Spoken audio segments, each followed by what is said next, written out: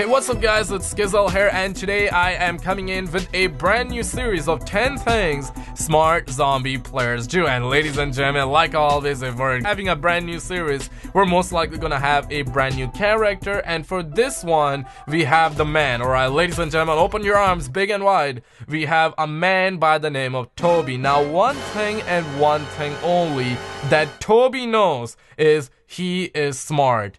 He is very Hot smart. damn. Now that you know a little bit about Toby, let's get right in on this. Now, of course, these are only gonna be 10 things smart zombie players do, and I know there are gonna be bazillion other things. And I do wanna differentiate this list with pro players. Of course, if you do any smart things in zombies, you're automatically going to be classed as a professional zombie player. But hey, these are only gonna be smart player things, and like I said, there are gonna be bazillion other things that I wouldn't be able to have on this list. So if you have anything that you know of, let me know in the comments below. And hey, this is just me saying there most likely gonna be a part 2, part 3, and part 100. Subscribe with notifications so when that episode goes up, you want to be notified because hey, you're most likely gonna be featured. But coming in at our number 10 spot, we're talking about throwing grenades when you have no ammo. Now, metaphorically speaking, a lot of people jump around and they don't do any of that. In other words, you want to make sure you throw grenades because if you throw grenades, there's going to be a slight possibility that you may get a draw. For example, insta kill. Hey, that can really help you out. You can buy a gun off of the wall to actually kill all the zombies, or you may just go ahead and knife all the zombies, or you may just get kaboom, which will definitely end the round, will buy you some time so you can hit the box or get some ammo or pack punch your gun. So throwing grenades can also give you a max ammo. Of course, it's gonna be a rare possibility, but still, it's a chance. And Toby wanna be smart, and he is smart. Like I said, ladies and gentlemen, he don't wanna form any memes, and Toby will make sure to throw those grenades to actually raise that slight possibility by one. At our number nine spot, now this one is surely gonna be that sort of thing that you're like, okay, Skizzle, I know, but hey to Toby, this is very important. You hear me?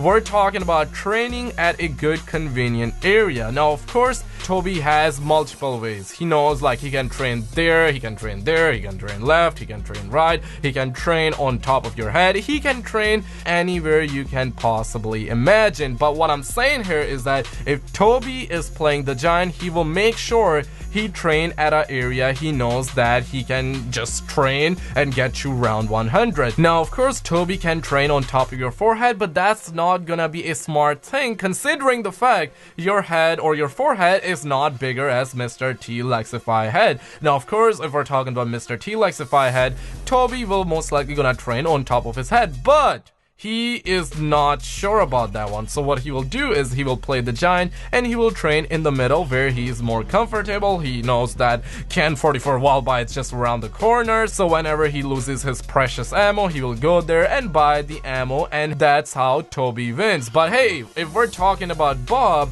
Bob likes to impress people, and I don't know why he does that. But hey, we're talking about Mob of the Dead Docks area. You remember where the plane part is? That's exactly where Bob will go, and he'll be like, "Dang meme, I gotta show my peeps that I can train here." And guess what? Two seconds later, the man is already down on the floor, and he's like, "Revive me! I got a ray gun." And the funny part is he doesn't have a ray gun. He knows his clickbait very well. And of course, that creates a lot of problems, a lot of memes, a lot of hostility because that becomes a problem to Toby because Toby is smart and he does his calculation. He's like, okay, can I revive him? Uh, let's not revive him right now. And that's when you know Toby is very smart because he already know that what's the point? If I revive Bob, he will go down the next second. Coming in at our number 8 spot, we're talking about not rebuilding barriers on high rounds because what's the point? Because number 1, if Toby is playing with other smart players, of course, uh, Toby don't want his respect level to decline. That's very important to Toby. Respect is everything to Toby. He wanna be smart, but at the same time, he wanna make sure he's respected and everything like that. He don't wanna ever lose that. And guess what? If you rebuild barriers and there are other smart players in his game, they will be like, yo, Toby, that's a no-no, that's not a good meme. And Toby automatically gonna see a decline in his respect level. So very important, he will never do that. Secondly, he will lose his credibility, which is a no-no Third of all, he will make sure he doesn't rebuild barriers because it will slow down the process and for him it's beneficial that he only stick with his wall guns or whatever mystery box gun to make points because that's just a smart way to make points and not by rebuilding barriers on a high round. But of course, if you're starting a new game, of course, for the first few rounds, it's always smart to rebuild barriers and Toby always likes to maximize his points because Toby knows that's just a good meme. But coming in at our number 7 spot, now smart players always go with their gut, they always go with their intuition because what if they hit the box and they get something that Bob would love. They never want to get something that Bob will love because Bob loves weapons like SMR machine he thinks it's a good meme. But hey Toby on the other hand he will resist. He will rather go for a wall gun that he knows of something like let's just say VMP in the Giant or the Riese it would be the Thompson you know what I'm saying ladies and gentlemen. But he would rather go with something that he knows of that would have a decent amount of ammo that can actually get him to make some decent amount of points. So he can actually go ahead buy doors that he needs to buy perks and then go ahead make some more points so he can actually hit the box. That's just a smartest thing in the world that Bob can never think of. But hey, at our number 6 spot, now this will blow your mind. Now Toby likes to always use the gun till the last bullet before pack-a-punching. For example, Mark II. Now, the thing about Mark II is that even if you pack-a-punch whenever you got full ammo, you're only gonna get a red glow, which is of course very beautiful. And of course, if Toby using a pack-punch gun around Bob, Bob will be screaming dank meme, dank meme. Of course, his respect level will go all-time high in terms of like how Bob looks at him. I don't know if you get what I'm saying here, but I hope you do. But what I'm saying here is that Toby will make sure he used the, the, the full amount of ammo that Ray Gun Mark II has. Let's also include the Thunder Gun in the mix. Let's include all the guns in the mix. For example, Ray Gun Mark II, if you pack punch, you're only gonna get a uh, bigger mag, which is awesome, but at the same time, you don't get a whole lot. And if we're talking about the Thunder Gun, of course, you'll get 4 ammo or 4 Thunder Gun ammo in the mag, which is of course awesome. You want that, you wanna bang that shit at the same time. You wanna make sure you don't bang it too early because the earlier you bang it, it's not gonna be profitable. But once you see yourself getting nowhere, once you see yourself no way of getting another max ammo, that's when you wanna pack punch. And Toby knows his game. Toby got game, he's very smart, and uh, hey, Toby knows his memes. But coming in at our number 5 spot, we're talking about smart players know how to escape area. Now Toby always leave areas with respect, he always leave area with style. Uh, he knows that if he escape the area, Bob will be like, yo, that shit's crazy. Uh, I don't know how people do that nowadays in 2017, but Toby like, let me show you how I do. So as soon as a new game start, Toby will be like, okay, now we can go ahead, knife zombies, get some points, um, shoot that zombie, pew pew. He will make a lot of points, but the second he hear that tune or however whatever the F you call that shit. The second he hears something, he'll be like, time to go, Bob, on me, but Bob will be like, no, I wanna make more points. And that's when Tony will be trigger. He'll, okay, no, let's not be trigger because that's not smart. Toby will control himself because, hey, there was one man who said, uh, whoever can control his anger in times of uh, when people are trying to create the hostility, you're gonna be sort of like praise. And Bob, in terms of Bob, Bob will be like, okay, that man is a legend. And that's exactly what Toby wants. I don't even know what I said there, but you know what I'm saying. Now, uh, Toby will be like, yo, Bob, on me. But like I said, Bob never listened. So guess what Toby will do? He'll be like, yo, I will give you the ray gun if you come with me. And that's when Bob is sold. And you guys already know the next thing you know, Bob and Toby have escaped area. That's uh, that's a big one. But coming in at our number four spot, now this one is a super smart thing, alright? Check this out. Now, smart players like to save claymores. Now, of course, I'm only talking about Black Ops 1 and Black Ops 2 here. I hope we get claymores in the next Treyarch title. Of course, everyone is calling it Black Ops 4, so am I. I made a video a couple of days days ago. I, I made a couple of videos about Black Ops 4 because we have a couple of hints, so check them out if you need to. But besides that, I want to make sure you get what I'm saying here because Bob fails to see this. But Toby, on the other side, whenever he got decent amount of points, what he will do, he will go ahead and he will be like, okay, let's just grab a couple of claymores for a thousand bucks. As soon as he get that, he like, okay, so I don't really feel like using them. Let me go ahead and save them in the corner for the time of need. Because guess what? If you don't have ammo on, let's just say round 30, you can throw grenades. Like I said, that was my number 10 spot